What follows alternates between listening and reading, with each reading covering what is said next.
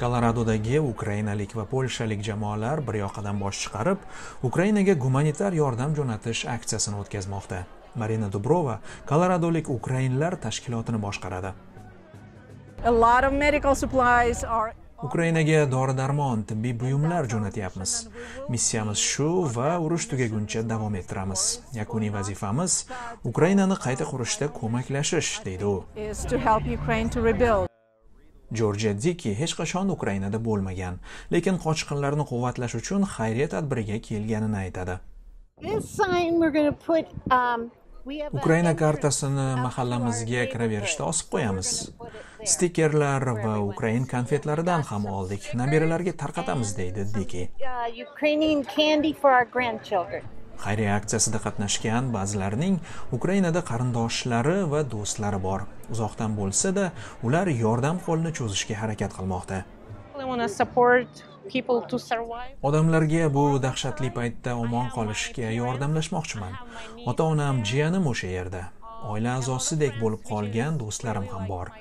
Ularga chin yurakdan yordam beraman deydi olena maslo bunday tadbirlar muhim. ukraina aholisiga to'g'ridan to'g'ri yordam yetkaza olamiz. Nima kerakligini bilamiz deydi valentin usati ko'ngillilardan biri mark dilan ukrainalik qochqinlarga boshpana bergan polshani olqishlaydi.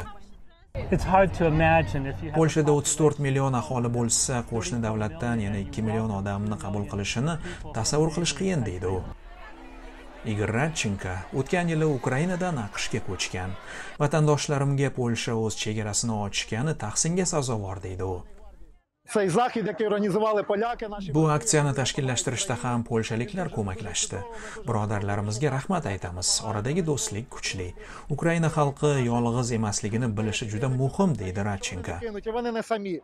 ukrain amerikalik faollar deydiki o'tmishda sodir bo'lgan voqealarni ham unutmaslik lozim denver shahridagi babiyar memorialida ikkinchi jahon urushida ukrainalik yahudiylar va boshqa millat vakillari qirilgani yodga olindi. Nimalar bo'lganini bilamiz. har doim ham oson bo'lmaganini har bir avlodga aytib kelmoqdamiz. ukraina xalqi uchun ibodat qilamiz. mening ota bobolarim ham bir paytlar ukrainadan ko'chib kelgan. Farzandlarimiz uchun yaxshiroq dunyo yaratishimiz kerak toki ular bombalardan qochib yerto'lalarda uxlamasin deydi emili hayat. Irina shatlov ikkinchi jahon urushi voqealarini bugungi rossiya bosqiniga qiyoslaydi holokost nimaligini genotsid nimaligini eslatishni istaymiz. Bu yevropada yana takrorlanyapti. Odamlar bolalar halok bo'lyapti deydi suhbatdosh. Koloradodagi xayriya aksiyasini tashkillashtirishda denver shahar kengashi a'zosi kendra blek ko'maklashdi.